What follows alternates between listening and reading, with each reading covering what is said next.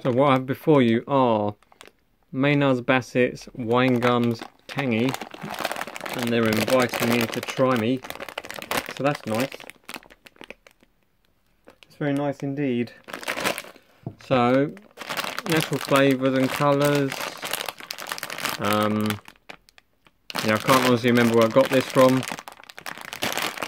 can't remember if this was Pound Stretcher or somewhere like that. I have a feeling it's somewhere like that.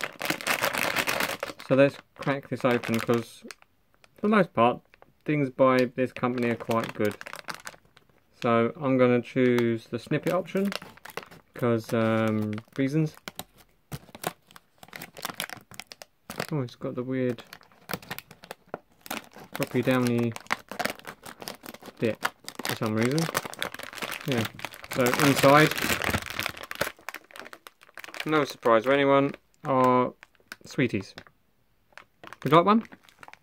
Yeah, just reach in. Just reach right in. But you can't.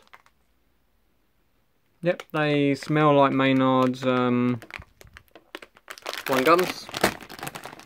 So, which one? I think I'll try this one. So they are, if you're getting focus, very much encrusted in tang. Hopefully, the sharp sugar coating is what it says it is. Hmm.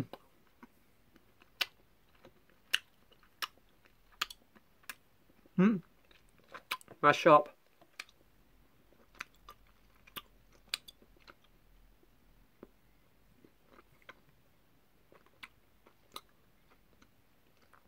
Hmm.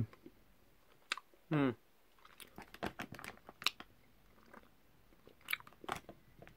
Hmm. Hmm. Hmm. That's better. So,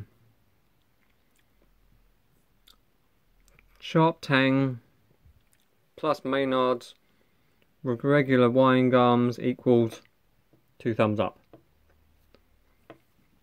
Yes, I can highly recommend these. These are very nice. It's that whole thing where, yeah, if you like Maynard's wine gums, you like tangy sweets, I'm assuming you like these as well. So, it's kind of a no-brainer. A no-brainer indeed.